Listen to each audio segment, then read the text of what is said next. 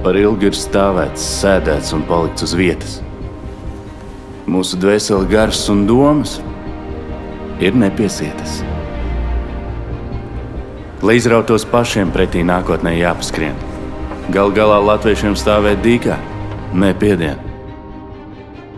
Laiks saviņot, ievibrēt, iesākt un izkustināt, un citus ar kustības prieku aplipināt.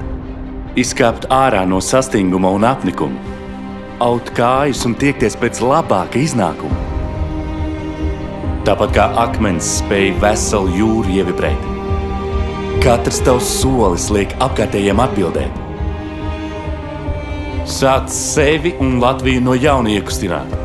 Jaunu vilni, enerģiju un laikus iedzīvināt. Iekustini Latviju!